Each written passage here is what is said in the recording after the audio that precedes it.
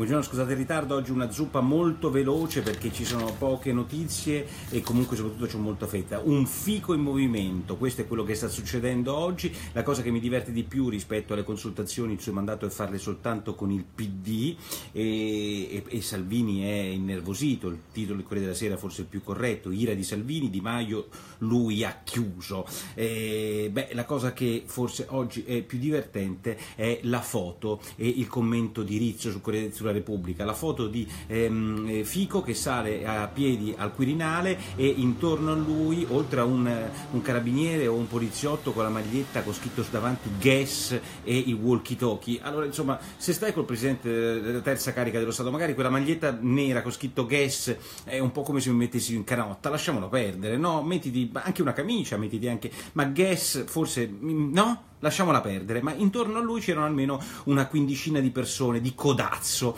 Beh, insomma, dieci di questi dice Rizzo saranno stati poliziotti, carabinieri, guardie del corpo, insomma conviene che prenda un'auto blu, spendiamo tutti quanti di meno, non è lui che le richiede, ma è la situazione, quella foto col codazzo con fico in mezzo dà l'idea plastica di come il Parlamento non sia stato aperto come una scatoletta di sardine o di tonno dal Movimento 5 Stelle, ma semmai il contrario. Cosa farà oggi il PD? Lo vedremo in giornata. Furgone in Canada fa 9 morti, la modalità è quella dell'ISIS, sarebbe un armeno il ehm, catturato, ma non si hanno notizie a questo momento di quello che sta veramente eh, avvenendo. Sul tema della politica poi ci sono due pagine per ogni giornale con un battage pubblicitario unico, beato lui, il film di Sorrentino, le due pagine del Fatto, le due pagine del Corriere, ma insomma io oggi ho voluto leggere Marcello Veneziani perché lo considero al di fuori di ogni giro, eh, destro, sinistro, centro e alto e in realtà nella sua grande pezzo, lungo pezzo sul tempo, non distrugge questo film, è tutt'altro perché è fatto da due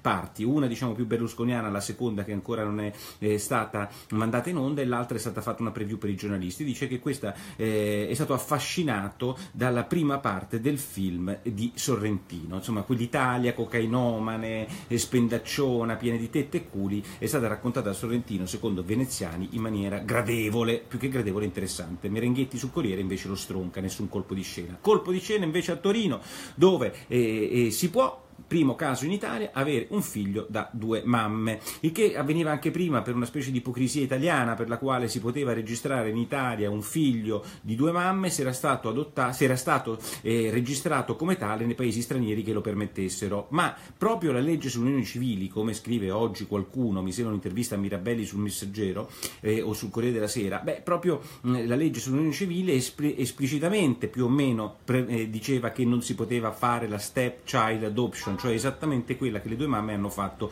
a Torino. Allora, fuori dalle ipocrisie, oggi i giornali non hanno il coraggio, compreso il liberale Giannino, di dire che questa cosa che è stata fatta a Torino è contro legge. Poi dopo possiamo pensare che i diritti civili siano più importanti, possiamo pensare... Però io per esempio vi faccio una domanda, ma in una mancanza completa di legge, se le due mamme dovessero separarsi, a parte tutte le considerazioni morali, etiche, culturali, quello che cacchio volete voi, se si separano, quale delle due è la mamma e quale il papà? Quale ha eh, l'affido, diciamo, privilegiato? Inutile che ci prendiamo per i fondelli, la donna ce l'ha sempre questo affido privilegiato? Beh, questo non è dato sapere. Contro legge orgogliose, perché questa è una legge assurda e oscurantista, che il Parlamento non ha voluto votare. Fino a prova contraria, il Parlamento in un paese democratico è quello che comanda e la legge, la rule of law, è quello che distingue il nostro Stato da quello che tanto odiate voi, putiniani, eh, degli stati putiniani, eh, cinesi, mm, eh, diciamo Kim Il-sung. Questa è la differenza. Rule of law, ti piaccia o non ti piaccia, però sulle step child adoption, pur non adottate in Italia,